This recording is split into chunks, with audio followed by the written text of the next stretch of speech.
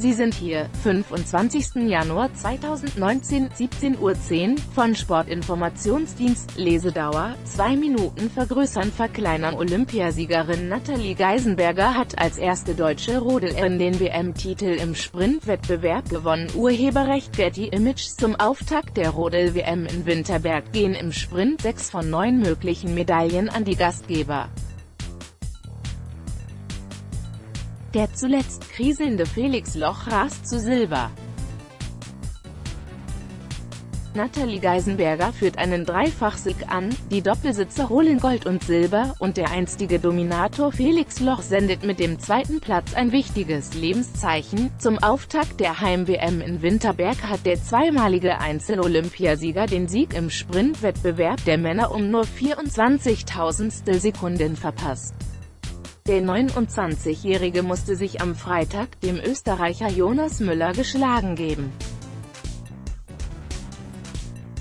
Loch wartet seit mehr als einem Jahr auf einen Sieg, nach zuletzt schwachen Leistungen macht Silber im nicht-olympischen Sprint nun aber Hoffnung für das klassische WM-Rennen am Wochenende. Der Olympiadritte Johannes Ludwig wurde Vierter hinter dem Russen Semen Pawlitschenko, Chris Eisler belegte den siebten Rang. Geisenberger sorgt für Premierentitel Die Frauen wurden ihrer Favoritenrolle dagegen absolut gerecht und stellen nun erstmals in der noch jungen Geschichte des Wettbewerbs die Sprint-Weltmeisterin. Olympiasiegerin Geisenberger setzte sich mit 7000 Sekunden Vorsprung auf Julia Taubitz durch Dritte wurde Diana Eidberger. Tatjana Hüfner musste sich mit dem fünften Platz begnügen.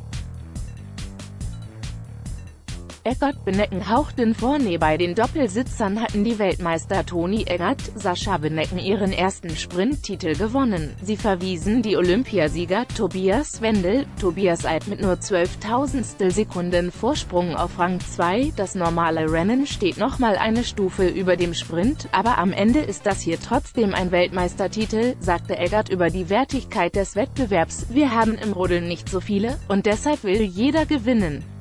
Bronze holte das Doppel Thomas Steu, Lorenz Koller aus Österreich, die Lokalmatadoren Robin Geüke, David Gamm belegten den siebten Platz. Der Sprint wird in Winterberg zum dritten Mal auf WM-Niveau ausgefahren. Die Entscheidung fällt dabei in nur einem Lauf. Die Zeitmessung beginnt mit fliegendem Start etwa 100 Meter nach der Startrampe. Am Wochenende stehen die klassischen Rennen der Doppelsitzer, Frauen, jeweils Samstag, und Männer, Sonntag an. Abgeschlossen wird die WM am Sonntagnachmittag mit der Teamstaffel von Sportinformationsdienst.